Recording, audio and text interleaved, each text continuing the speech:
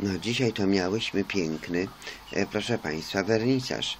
Andrzej Podkański. Rzeczywiście piękne obrazy dużego takiego formatu edukacyjne, obrazy pouczające, wspaniałe.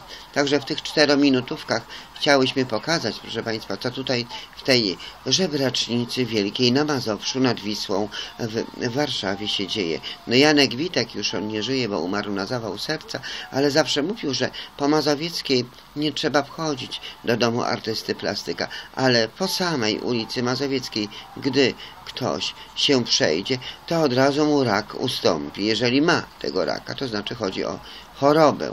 No właśnie, czyli Janek Witek miał, widział dużo pozytywizmu w samej tej ulicy. Mazowiecka Street in Warsaw. Mazowiecka Street in Warsaw.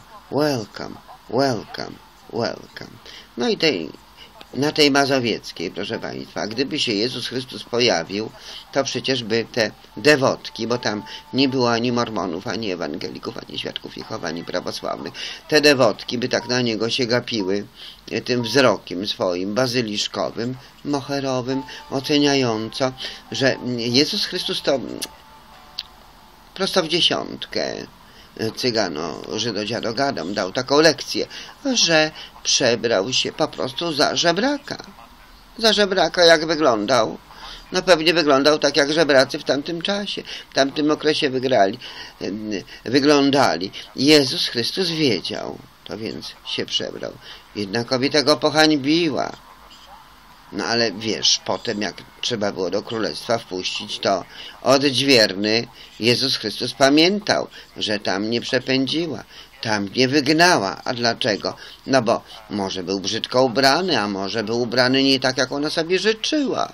No, no wiecie, jak to żebracy wyglądają. Niezbyt pięknie. A tutaj faryzeusze musieli, musieli wyglądać pięknie. Aż nadpięknie, aż nazbyt pięknie.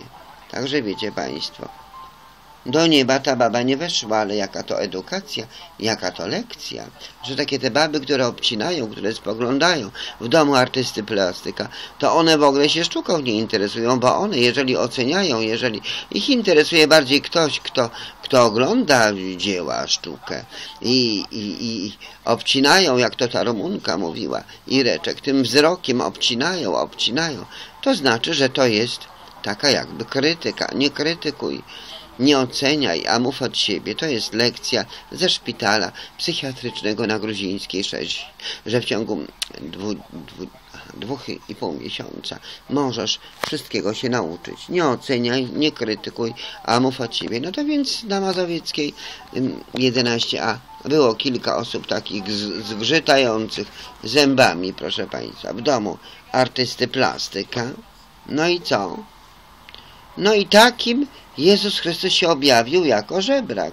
No Jezus wygrał, a bo się przy okazji okazało, że to ta hołota, to ona nie przyszła na sztukę, tylko przyszła kombinować, przyszła kręcić, przyszła oceniać i ma w tym wszystkim jakąś jedną wielką filozofię. Oczywiście, że złą filozofię, tutaj internet dzisiaj wypowiadał się na ten temat, że w tym musi być jakaś zła filozofia.